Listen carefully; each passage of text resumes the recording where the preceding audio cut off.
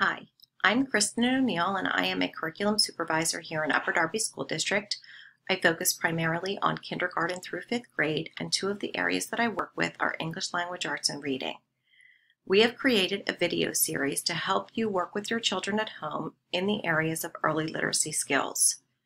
Reading is an extremely complex process. It involves word recognition and language comprehension.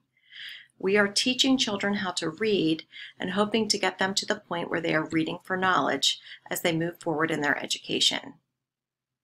You are going to watch this initial video series that includes clips in the areas of phonological awareness, letter-sound correspondence, blending, and sight word recognition. We want to thank you in advance for your partnership as we move through this process, knowing that our teams working together is going to expedite our little children learning how to read. Thank you and enjoy the clips.